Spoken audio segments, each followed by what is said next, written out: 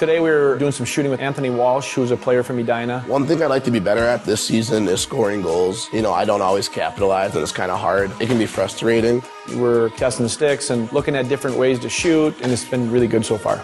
Okay, Anthony, we're going to go through drills today. And with all these drills, just remember we want to make sure the front half of the blade is on the ice. The heel should be barely off the ice when you shoot it. The closer the puck can stay to the toe, the more accuracy you're going to have, the more power you're going to have. We're going to do pull wrist shots today, and this rock is representing a defenseman. So you're going to pull the puck around the rock. A lot of times in the games, you're going to come down the ice, there's going to be a defenseman between the puck and the net. So we want to make sure that you're pulling the puck around and changing the angle.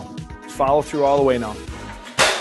Good shot. Well, I think some of the errors the kids make today are they want to shoot the puck off the heel. Their body is too far away from the puck, so they can't get their weight on their stick. The new blades kind of work like a diving board, so if they push on the toe, the blade flexes, the shaft flexes, everything flexes together. And if the lie is right on that stick, they shoot the whole puck. So there's a bunch of different things that go into it, but the, I think the main thing they have trouble with is trying to shoot the puck off the heel.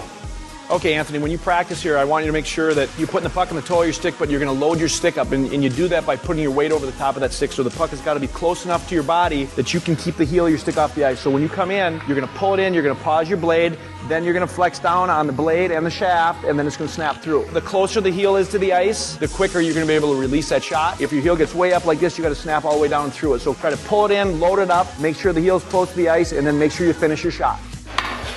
I think the kids now, the way the sticks are set up, a kid at even 11 years old can flex a shaft and get the blade flexed. So really important that they use their weight rather than just trying to muscle it because if they use their weight and the line, everything is set up right, it's very easy for the kids to shoot with these sticks.